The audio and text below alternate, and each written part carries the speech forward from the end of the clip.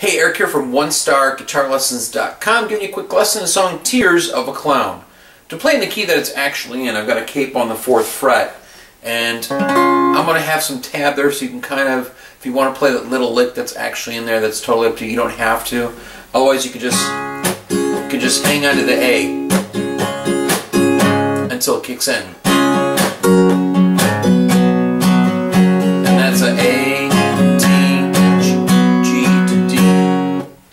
Let's show you the lick just in case you do want to play it.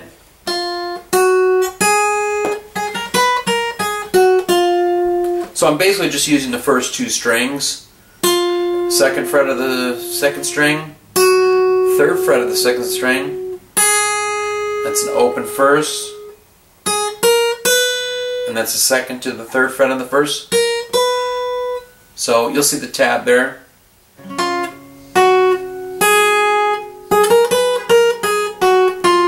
Again.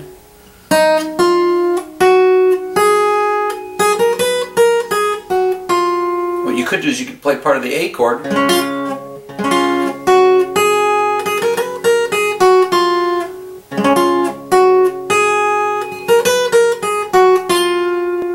And then you go right into the A, D, G, D, oh yeah, yeah.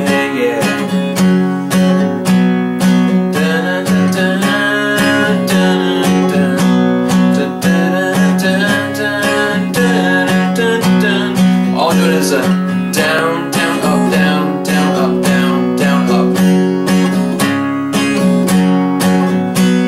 You keep doing these chords, but then at some point the rhythm changes just a little bit, where it goes A, D, G, D, A, D, G, D. It sounds like the D comes down a little bit quicker, so in that strumming pattern, and again, you're getting towards the end of the progression here. Down, down, up, down, down, up, down, down, up, up, down, up, down, down, up, down, down, up. And it goes E, down, down, down, F diminished, F sharp minor, to D. Tears of a clown. So basically what we've got there is um, a couple different uh, progressions there. So we've done the beginning.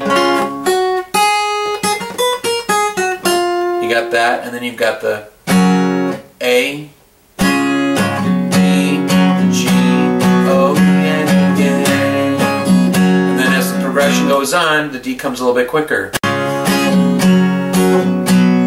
Right there. Here's your build one more time right after that. E, dun, dun, dun, F diminished. F sharp minor of a clown.